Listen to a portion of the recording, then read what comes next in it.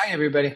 I'm Dr. Abraham Morgentaler, and I want to talk to you about some exciting new uh, research. So, I want to talk to you about the TRAVERSE trial, in particular, the TRAVERSE trial as it relates to prostate and prostate cancer. So, the TRAVERSE trial, as many of you know, was uh, the largest randomized controlled trial of testosterone therapy versus placebo ever, and by far.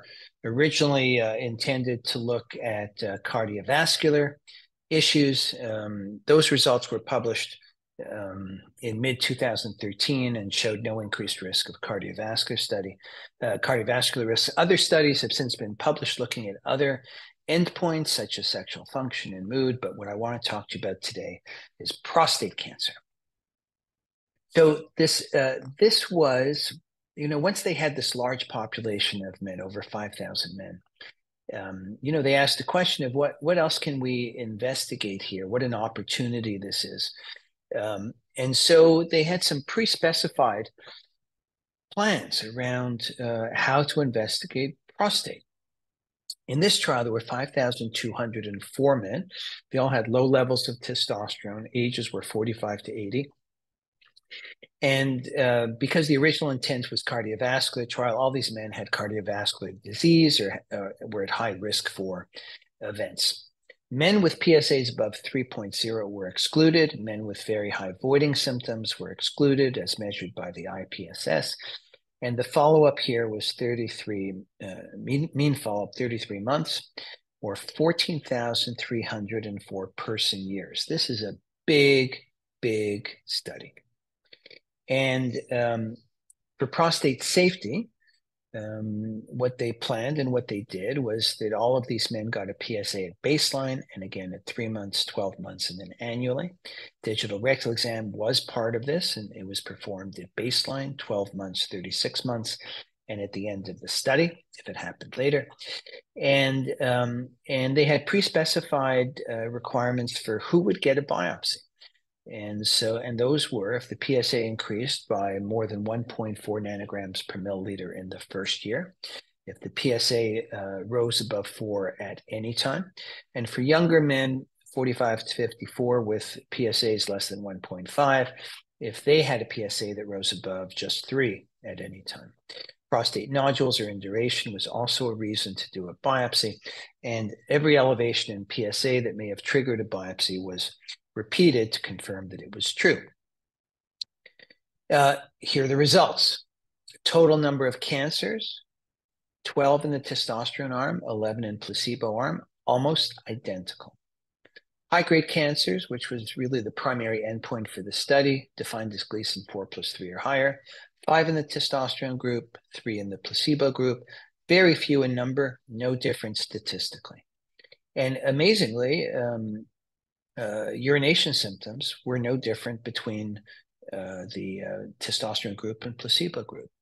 In fact, there are no differences for any of these. And the reason why the urination thing is, I think, uh, worth is a big deal is that everybody has assumed that not only does testosterone for the longest time that testosterone sort of causes prostate cancer, prostate cancer growth, but also that it has the same effect on benign prostate.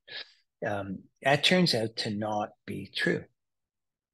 So there's several implications from this. One is, I think this is now done. Testosterone therapy does not increase prostate cancer risk. Uh, we're never going to get a bigger study than this. Um, the results are unequivocal. Uh, it just does not increase prostate cancer risk. Number two, in testosterone deficient men, testosterone therapy does not cause prostate cancer to grow. Now, where do you how do you get that from the traverse trial well we know that as many as 15% of men who have low levels of testosterone or frankly even who don't if they're in studies or protocols where everybody's getting a biopsy uh, with psa less than with normal psa normal digital rectal exam 15% have biopsy detectable cancer. It shows up on biopsy. Now, in this study, that wasn't true. You had to have certain changes, right, that would that would result in a biopsy. But we know that there's a lot of subclinical prostate cancer out there, and if testosterone really made those subclinical cancers, let's just call them cancers, if it made them grow, it would be logical to assume that some of those would become detectable by the monitoring methods, uh, changes in PSA, induration, nodularity, and that they would then get biopsies and it would show up. It didn't happen.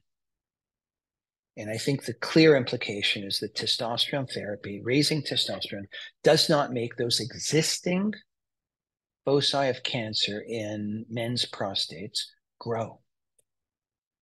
Three, testosterone does not drive prostate cancer growth. This phrase has been around for a long time. The prostate cancer uh, guys love this. Androgens drive prostate cancer growth. If, as a general statement, which includes especially people who are not androgen deprived, this cannot be true. It didn't happen in this study. We don't get more prostate cancer with a rise in testosterone. Therefore, testosterone does not drive prostate cancer growth. It's not true as a general comment.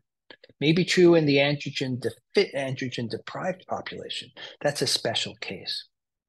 And why doesn't it do it? Saturation. There is a maximal amount that androgens can stimulate prostate cancer or normal prostate to grow. And at some point, it becomes maximal, and raising it beyond that concentration doesn't do anything. That's what saturation is. Men who are testosterone deficient still have a moderate amount of testosterone. They just have uh, little enough so that they have symptoms. Um, but raising it doesn't seem to do anything in this study and in other studies that led up to this uh, Traverse trial. So, um, doesn't do it. So, I think this is massive. I think this is massive news. Um, we make decisions in medicine based on, uh, especially on large randomized controlled trials. That's what this is. The results are not wishy washy, they are clear, they are definitive, they are conclusive. Testosterone does not cause prostate cancer. Risk to go up, it does not seem to make prostate cancers grow in this population of testosterone deficient men. And hopefully, this changes the conversation about how we speak to our patients and how we speak to other uh, clinicians about testosterone therapy and its merits and its potential risks. That's it for today, and hope to see you back on this platform again soon. Bye bye now.